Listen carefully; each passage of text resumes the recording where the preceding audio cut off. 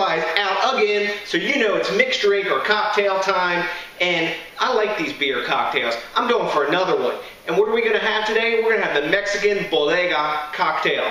Now, what kind of cocktail is this? Well, it's a tropical themed cocktail. When you go down to Mexico, one of the places you go to shop is the bodega. And the bodega is like a supermarket or a big store that has a little bit of everything. And you can find Caribbean rum there, Modelo beer from Mexico, limes, and everything you need for this drink, even the ice. So, let's get into this one. Real simple drink that I think you're going to like. So, this is a rum-based drink. And we've got basically three, well, four base ingredients. Rum, beer, lime juice, and you can make simple syrup, but I buy the Karo syrup. It's the same, and I think it actually tastes a little better because it dissolves more evenly into the liquid than cane sugar-based simple syrup does. So, got our Karo. Now, very popular in Mexico also. So, first we're going to start out with a full ounce of rum. Got our nice pour spouts here. These are a big help for us. And we'll pour that nice and tall and a little extra for the glass. You know how we roll here. Now, we've got, we'll do a half ounce of our Karo here. Oh, look at this, not open for me. No problem.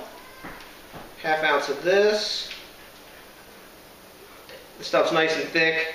And another reason I like it is you get a true coating every single time with this one. Like you, you get that really thick consistency that's hard to get when you make it yourself. Now, we've got three quarters of an ounce of lime juice, or a little more if you like. So, um, basically a shot, maybe a little more of rum, um, half shot of the Karo or simple syrup, and three quarters of an ounce or three quarters of a shot of lime juice. So, we're going to mix this up with a spoon. Got our tall sort of tea stirring spoon here. Let's see what it tastes like so far.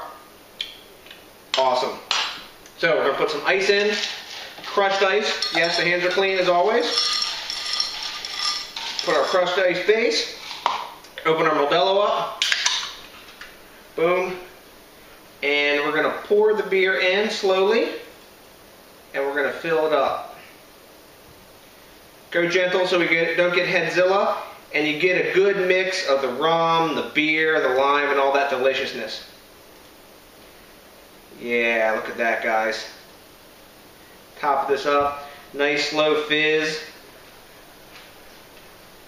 That's right. And these this Pilsner glass with the tulip top on it, I think is perfect for this because it lets it breathe really good. Look at the nice color separation in there. Modelo is a little bit darker adjunct lager than some of the other Mexican ones. That's why I use this. You get it looks it looks really nice in the glass. You're getting that dark rum mixed in there.